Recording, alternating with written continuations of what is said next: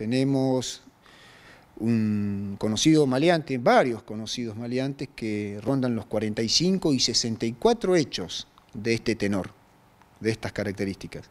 Son personas que se han alzado eh, con sumas millonarias, estamos hablando de 1.500.000, 1.200.000, 800, haciéndolo de esta, con esta modalidad, la de los inhibidores, donde con una poca inversión, una pequeña inversión que hacen al comprar ese dispositivo, cuando no lo roban, eh, logran inhibir el bloqueo, el cierre centralizado de los vehículos y apenas se, alejó el particular del rodado, sustraerle los elementos, que a veces ingresan y no encuentran nada, y otras veces ingresan y encuentran dinero, efectos de valor y todo lo demás. Y son situaciones que afectan sensiblemente la, la ciudadanía.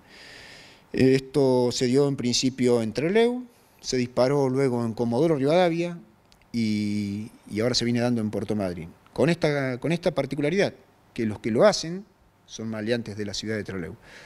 Eh, ¿Qué le podemos decir al particular?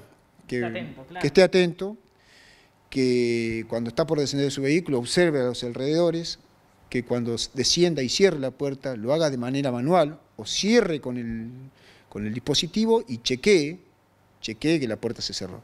Es ahí donde eh, queda de algún modo eh, inhabilitado el, maleante, el malhechor que está al acecho de algún desprevenido ciudadano, de algún distraído ciudadano que está haciendo sus actividades normales.